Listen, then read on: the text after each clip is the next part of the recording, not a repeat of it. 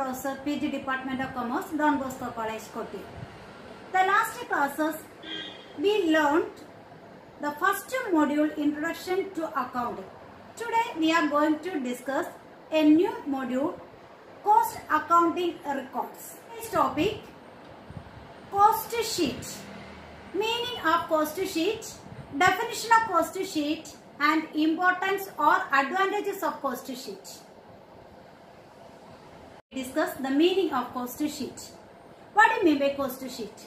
Cost sheet is a statement prepared to check the cost of a particular product or service.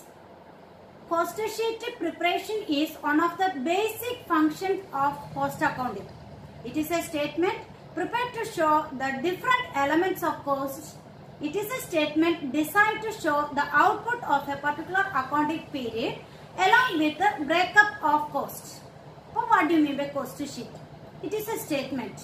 It is a statement prepared to show the different element of cost. Prepared to show the different element of cost. It is one of the basic function of cost accounting. It is one of the basic function of cost accounting. Okay. It is a statement designed to show the output of a particular accounting period.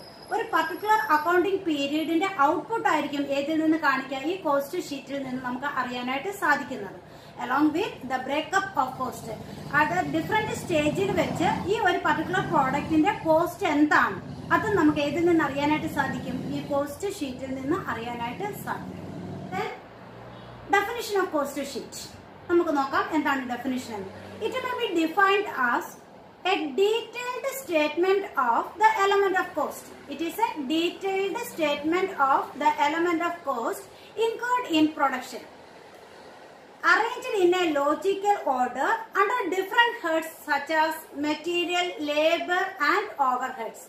prepared at short intervals of time. Okay, ini നമുക്ക് step by step ആയിട്ട് നമുക്ക് definition പഠിക്കാം it is a detailed statement of element of cost incurred in production ഒരു പ്രൊഡക്ഷനിലെ ഉണ്ടായിട്ടുള്ള element of കോസ്റ്റിന്റെ ഒരു detailed statement ആണ് എന്തെന്ന് പറയുന്നത്? കോസ്റ്റ് ഷീറ്റ് എന്ന് പറയുന്നത്. അപ്പൊ എന്താണ് ഫസ്റ്റ് പാർട്ട് എന്ന് പറയുന്നത്?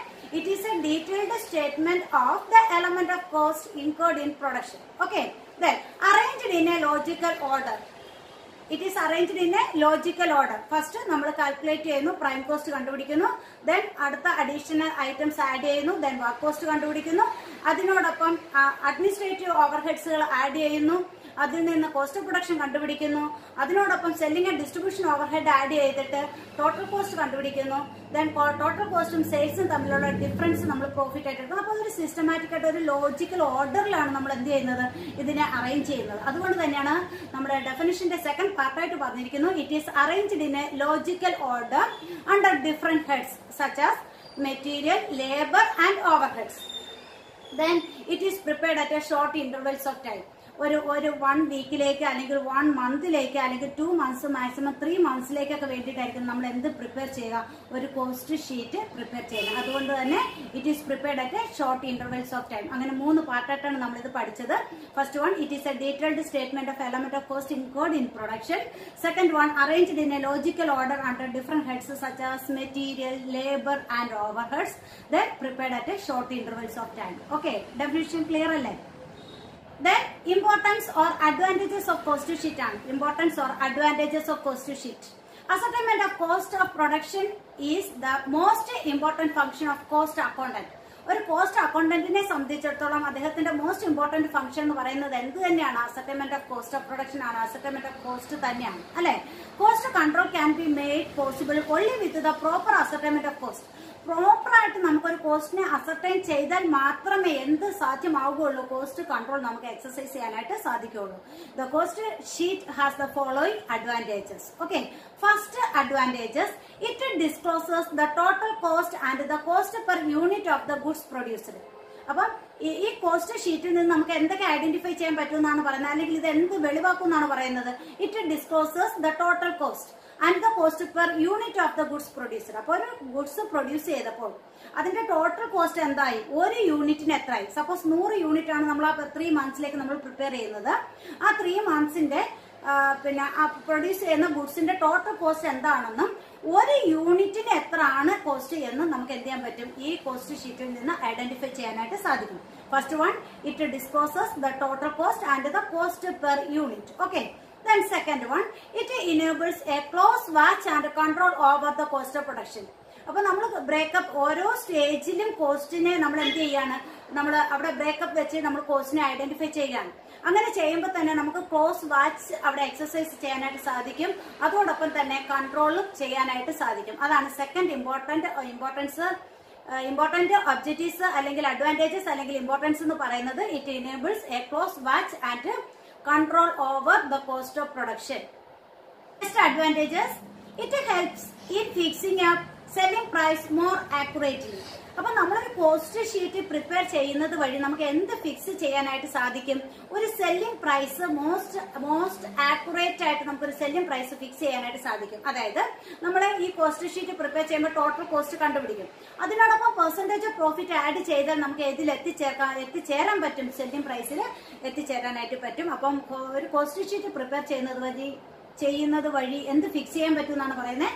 സെല്ലിംഗ് പ്രൈസ് ഫിക്സ് ചെയ്യാനായിട്ട് സാധിക്കും. Okay then next one it helps to minimize the cost of production അപ്പൊ കോസ്റ്റ് ഓഫ് പ്രൊഡക്ഷനെ നമുക്ക് എന്ത് ചെയ്യാൻ പറ്റും? മിനിമൈസ് ചെയ്യാനായിട്ട് സാധിക്കും. അപ്പം നമ്മൾ ഈച്ച് ആൻഡ് എവറി ഐറ്റം എടുത്ത് നമ്മൾ എന്ത് ചെയ്യാണ്? നമ്മൾ റെക്കോർഡ് ചെയ്യുകയാണ്. അപ്പം എന്ത് എവിടെയെങ്കിലും ഒരു ഓവർ വേസ്റ്റേജ് കണ്ടു കഴിഞ്ഞാൽ അപ്പം അവിടെ വെച്ച് തന്നെ നമുക്ക് എന്ത് ചെയ്യാൻ പറ്റും? അത് നമുക്ക് മിനിമൈസ് ചെയ്യാനായിട്ട് അവിടെ വെച്ച് തന്നെ അതിന്റെ കറക്റ്റീവ് മെഷേഴ്സ് എടുത്തുകൊണ്ട് മിനിമൈസ് ചെയ്യാനായിട്ട് സാധിക്കും. അപ്പം it helps to minimize the cost of production okay then next item by providing a comparative study of the various element of cost അപ്പം നമുക്ക് എന്താ ഒരു കമ്പാരിറ്റീവ് സ്റ്റഡി പോസിബിൾ ആണ്. എന്ത് പ്രിപ്പയർ ചെയ്താൽ കോസ്റ്റ് ഷീറ്റ് പ്രിപ്പയർ ചെയ്ത് കഴിഞ്ഞാൽ ഒരു കമ്പാരിറ്റീവ് സ്റ്റഡി പോസിബിൾ ആണ്.